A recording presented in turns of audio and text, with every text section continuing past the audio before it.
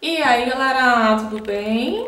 Hoje eu tô aqui com a Lara e eu vim falar sobre um assunto que algumas pessoas me perguntam, que é como comprar um filhote de raça pequena, mas tendo a certeza que ele realmente vai ficar pequeno. Porque às vezes a pessoa compra um poodle achando que vai ficar um poodle micro, um poodle toy, e quando cresce fica um poodle médio quase.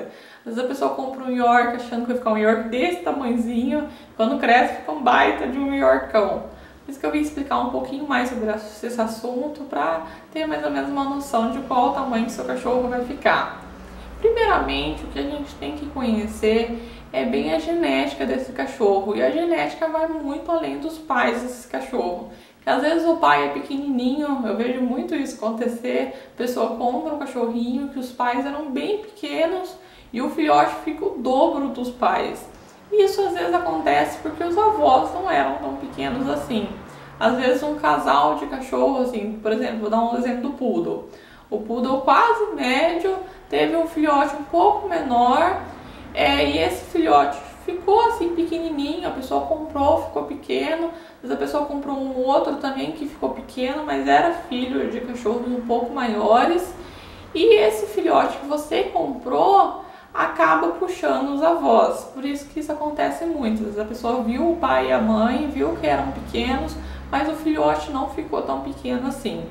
O que acontece muito também é às vezes a pessoa escolheu o menor filhote da ninhada, sendo de pais um pouco maiores, achando que esse filhote, por ser o menorzinho, vai ficar pequenininho. E isso na maioria das vezes não acontece. Às vezes sim, um filhote que era o menor da ninhada fica realmente o menorzinho. Mas às vezes não, porque às vezes na barriga, no útero não desenvolveu também tão bem como deveria. E como não desenvolveu tão bem, os filhotinhos maiores, os irmãozinhos maiores mamam mais, desenvolvem melhor. Quem já teve filhotinhos em casa sabe que cresce muito rápido, entre o primeiro dia de vida até 30 dias de vida, eles se desenvolvem muito rápido. E se tiver um que é um pouquinho menor, acaba desenvolvendo mais devagar, porque os maiores mamam, tomam o lugar daquele pequenininho, o pequenininho fica para trás. E na hora de entregar, essa diferença às vezes é muito visível. Às vezes o que ficou para trás ali, que nasceu menorzinho, tá desse tamanhozinho e os irmãos a desse tamanho mas não quer dizer que quando adulto ele vá ficar menor. Às vezes é só um atraso ali por não ter conseguido mamar tão bem, não ter conseguido se alimentar tão bem, mas ao decorrer da vida, mesmo que demore um pouquinho, por exemplo, às vezes quatro meses ainda está um pouco pequeno, mas vai desenvolvendo, desenvolvendo até chegar ao tamanho adulto, que às vezes é o mesmo tamanho do outro filhote que era o dobro. E às vezes acontece do filhote ser o dobro, ficar menor do que aquele filhote que era minúsculo quando nasceu e quando você foi buscar. Por isso que a gente tem que conhecer realmente a genética, porque tamanho enquanto filhote não determina o tamanho depois de adulto. Tem canis aí, às vezes clandestinos, que não criam filhote direito, às vezes até regulam um pouco a ração, é, não deixam se alimentar tão bem, para entregar aquele filhote pequenininho é, para a pessoa, para pessoa achar que ele realmente vai ficar pequeno. Só que isso só funciona até 45 dias, dois meses. Depois, quando o filhote for para sua casa, mesmo que ele não se alimentar tão bem como o outro que era mais esperto, aos pouquinhos ele vai crescer. Isso pode até demorar um pouco mais, mas ele vai crescer. Quando ele tiver um ano, ele vai ficar do tamanho que ele tinha que ficar. Por isso que às vezes a pessoa pega um filhote desse tamanhozinho, minúsculo, minúsculo, minúsculo, e ele vai crescendo, crescendo, crescendo, crescendo, quando vai ver vai ficar muito grande. Então, só conhecendo realmente a genética para ter certeza disso. E mesmo assim, às vezes a natureza aí surpreende a gente, e mesmo uma genética de cães pequenos, acaba que um fica maior, ou às vezes na genética de cães maiores, aquele que você escolheu fica menor. A Pandora, por exemplo, os pais dela têm em torno de 5 quilos, que é um peso normal para Shih Tzu, é o tamanho que a Lara tem. O padrão do Shih Tzu é entre 4,5 kg até 7,5 kg. Os pais dela tá totalmente assim no peso padrão da raça, no tamanho também padrão. E a Pandora ficou menor. A Pandora tá em, em torno aí, nem 4 quilos ela não tem ainda. Pode ser que desenvolva um pouquinho mais. A Lara mesmo foi uma cachorra que demorou um pouquinho para desenvolver.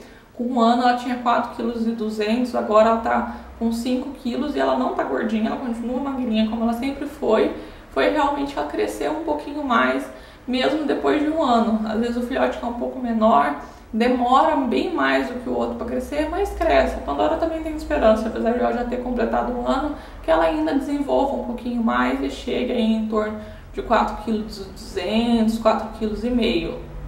O que a gente não pode querer também é uma raça, por exemplo, o Shih Tzu. O Shih Tzu é em torno aí de 4,5 kg até 7,5 kg. Você não pode querer é ter um Shih Tzu, por exemplo, de 2 kg. Você está procurando, às vezes, um cachorrinho com problema, às vezes um cachorrinho que é bem mais frágil. Quanto menor o cachorro, principalmente nas raças que o cachorro não é tão pequeno assim, quanto menor, mais frágil vai ser. Por isso que eu não indico assim a pessoa querer um York micríssimo, micríssimo. Isso não é legal. O York já é pequeno no padrão dele. O máximo do padrão do York é 3,2 kg. Então já é um cachorrinho pequeno, perto do Shih Tzu, por exemplo, é um pouco menor.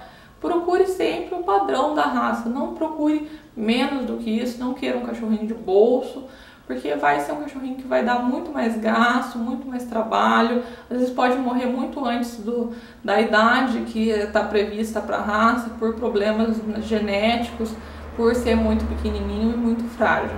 Espero que essas dicas ajudem, ajude um pouco a conscientizar também. É, procure sempre conhecer o criador, ver da onde você está adquirindo esse filhote, para não ter problemas de pegar de um criador que cria de qualquer jeito, não tem respeito pelos cães. É, para não ter um cachorro com problemas, é lógico que a gente não tem como prever a saúde que o cachorro vai ter.